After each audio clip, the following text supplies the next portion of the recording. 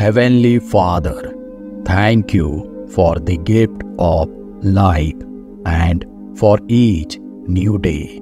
Your blessings sustain me, and I am grateful for your endless love and mercy.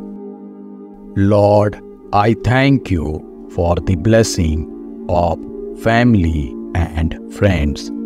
Their love and support reflect your kindness, and I cherish their presence in my life. Dear Lord, I thank you for the strength you provide me each day, for guiding me through challenges, and for the wisdom to see your hand in every aspect of my life.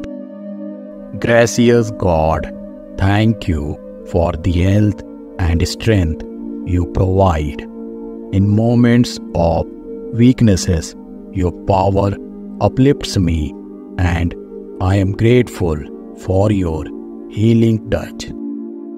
Father in heaven, I thank you for the provision of food, shelter, and clothing, for meeting my needs and sustaining me in times of lack. God of all blessings, I praise you for your faithfulness, for your constant presence in my life, and for the promise of eternal life with you.